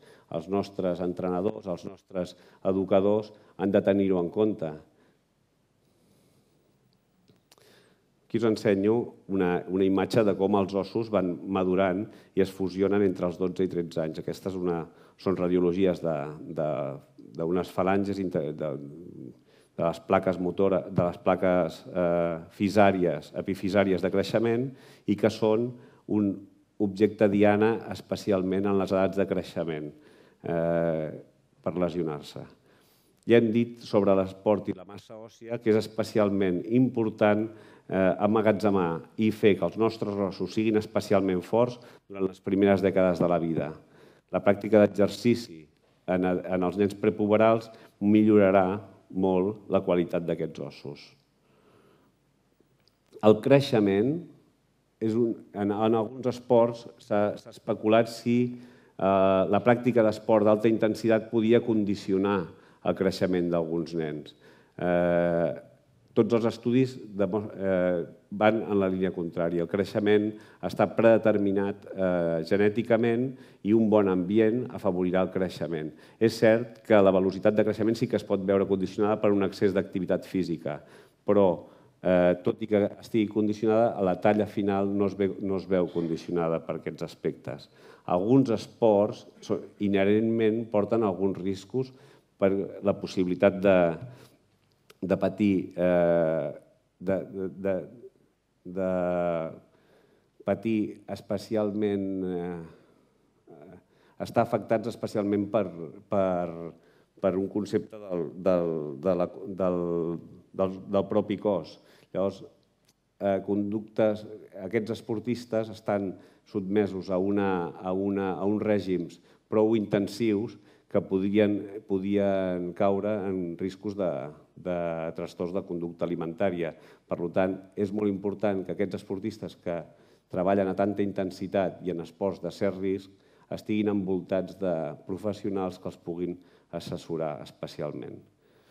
Ja tots ha sabut que cal adaptar l'esport al nen, els, els, els, els nens no són adults en miniatura, les regles dels esports s'han de modificar en funció dels, dels, dels moments de desenvolupament dels nostres nens, els tamanys dels terrenys de joc, els tamanys de les pilotes, el, les, la, els minuts de durada dels partits, han d'anar, i així ho, ho, ho determinen, han d'anar adaptats a les edats dels nens i així ho determinen les, les, les polítiques reglamentàries de les diferents federacions que organitzen i aquí us parlo d'unes petites experiències personals respecte als pics de lesions. Aquesta és la nostra casuística dels últims, dels darrers cinc anys. Aquí tenim els pics de lesions en, en les diferents categories per edats, aquests són els de, que tenen 19 anys, els de 18, els de 16, els de 15 i els de 14, els de 12. I fins ara ens pensàvem que com més grans es feien els nens, i així ho, repeteix la literatura, com més grans es feien els nens, més riscos de patir lesions hi ha. I és cert que hi ha aquesta tendència, quan els nens creixen, cada vegada tenen més lesions, com es mostra aquí, però en les edats al voltant de l'adolescència els nostres esportistes tenen un pic de lesions i al final de l'adolescència, al passar l'edat adulta, hi ha un altre pic de lesions. O sigui que hem de ser especialment atents a aquestes edats perquè el cos està canviant i segurament les intensitats de la pràctica esportiva i la competitivitat que es pateix en aquestes edats fa aquests, aquestes franges d'edat més vulnerables.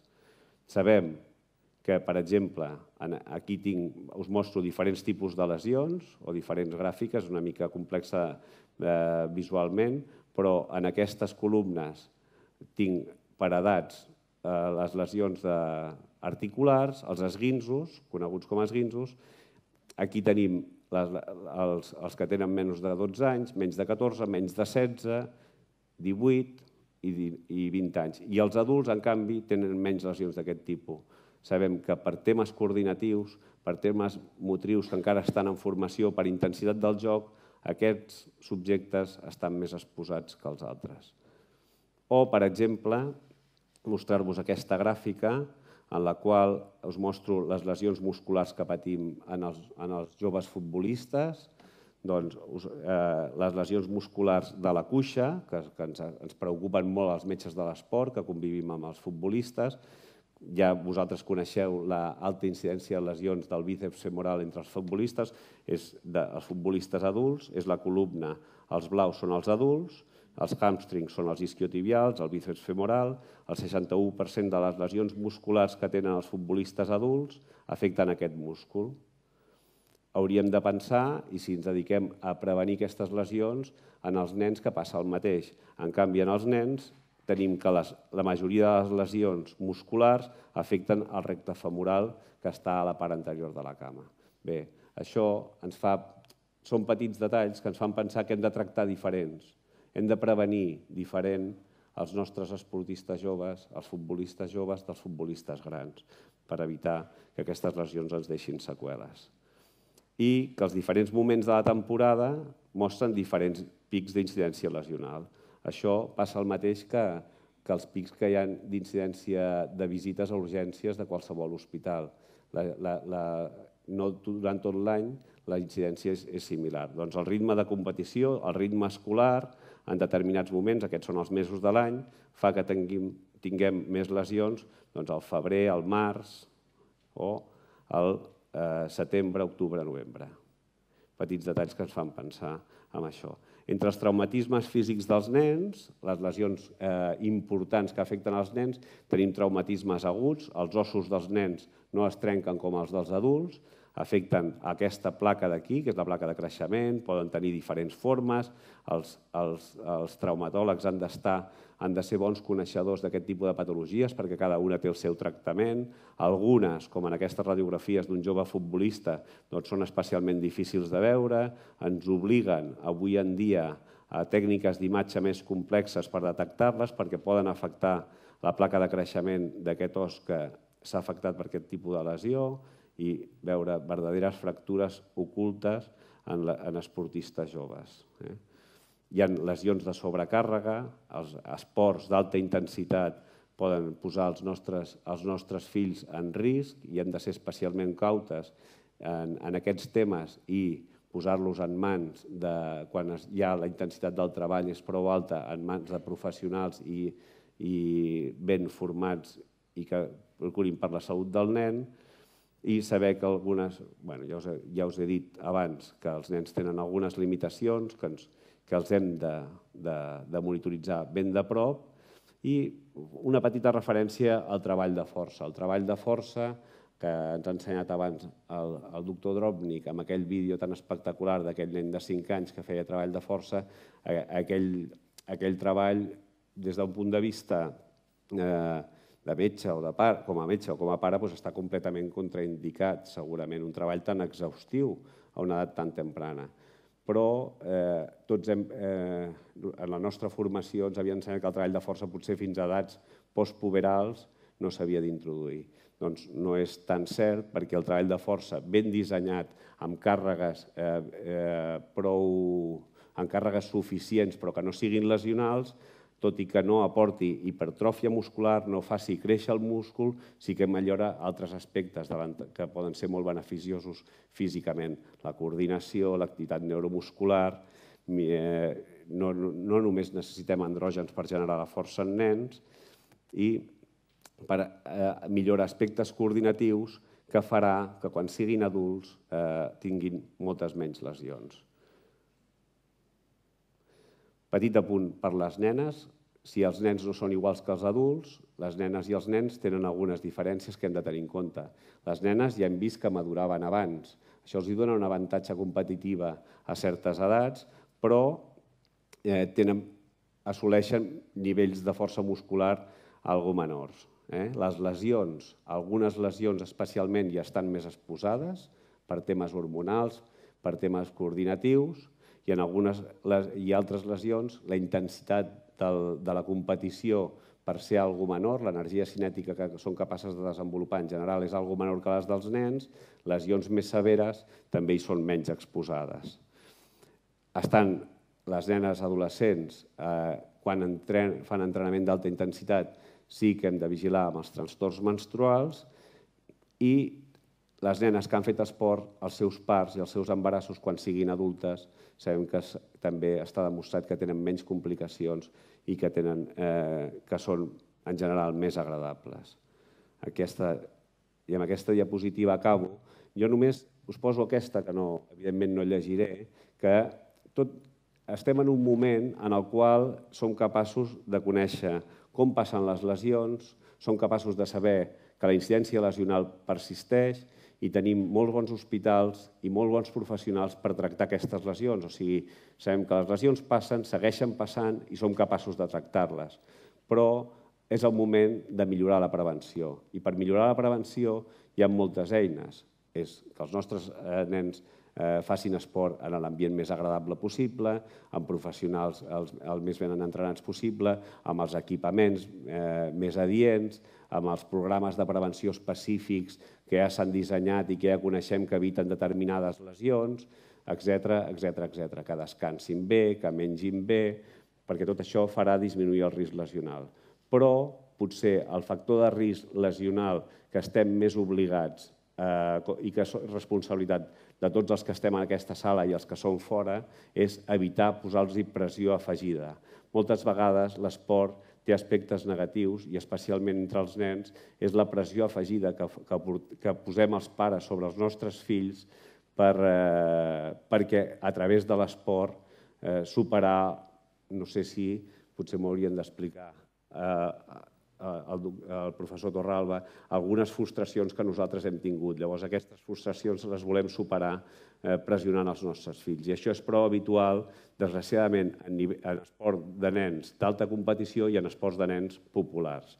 I ho veiem els que acompanyem a nens cada dissabte a la al partit de bàsquet o al torneig de patinatge. Veiem el comportament d'alguns pares. Aquesta pressió afegida sí que és molt nociva i, que, i sí que pot fer, en el millor, en el menys dolent dels casos, fer apartar aquell nen de l'esport. Però a vegades les conseqüències són molt pitjors.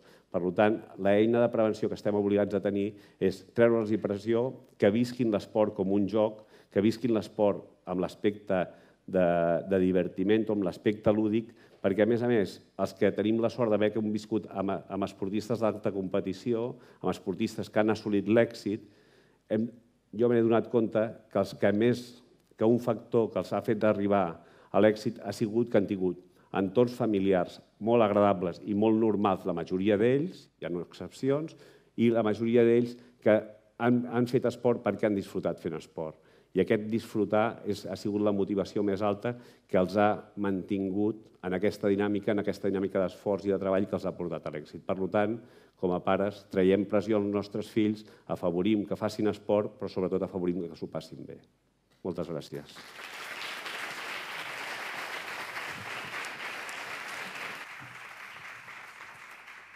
Bueno, ja és tard i només tres coses. Una, eh, un formal agraïment a Ariane Tarbal, que és una de les ànimes de Faros i és la persona que coordina tot això d'aquí. La segona és, eh, no fem preguntes avui perquè ja és tard, per tant, sí que es podran fer preguntes a través de les redes socials, tant del Twitter com a, a Facebook. Si ens les feu eh, després, durant aquesta setmana que ve, us les contestarem, aquestes preguntes. I la tercera és que ara fora tenim una copa de cava i un informe per cada un de vosaltres. I si us ha agradat, fem una miqueta d'esports i fem un aplaudiment per aquests ponents i per vosaltres que heu estat aquí.